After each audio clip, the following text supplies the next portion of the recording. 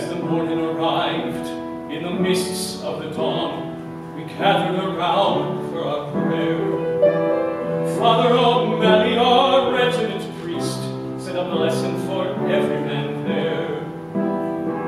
We were given our orders, we'd march toward the day, not knowing what might lay ahead. That day in December, 500 men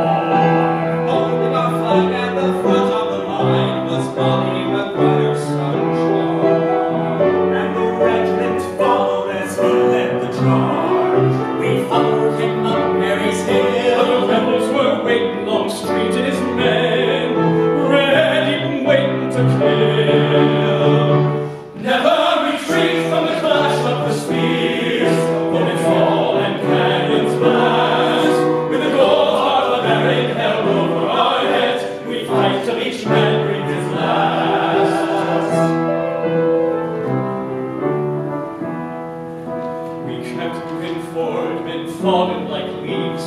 We saw some go down, some die.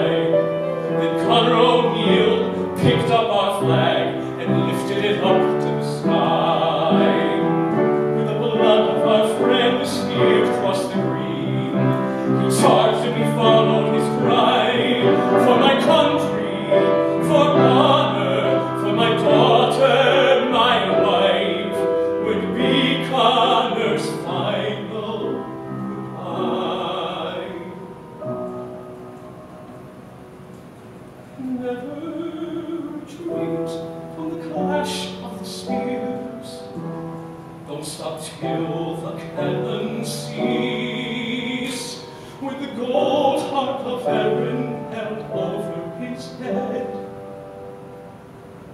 Young Connor O'Neill